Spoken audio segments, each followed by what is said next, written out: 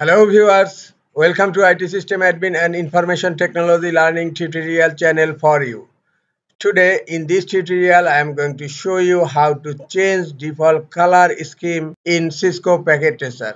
Sometimes it become very important for you so don't forget to watch full video. To change color scheme on Cisco Packet Tracer, go to your Cisco Packet Tracer and click on Options tab then click on preferences. In preferences click on interface tab. And in below you will find color scheme. And by default default is selected. Click on the drop down here. And you will find here classic slate and no theme.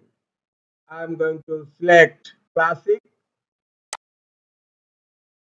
now you will find a notification new color scheme will take effect the next time you start the Cisco packet tracer.